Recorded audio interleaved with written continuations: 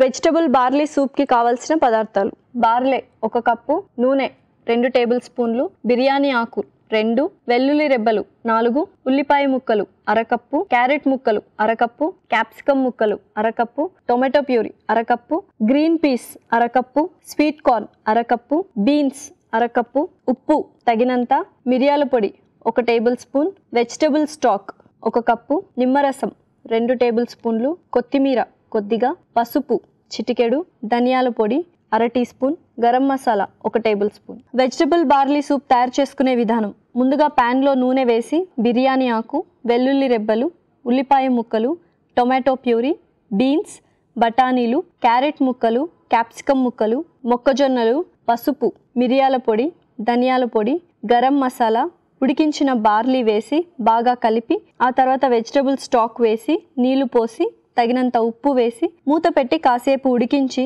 serving బౌల్లో తీసుకొని నిమ్మరసం పిండి కొత్తిమీరతో గార్నిష్ చేసుకుంటే ఎంతో రుచికరమైన వెజిటబుల్ బార్లీ సూప్ రెడీ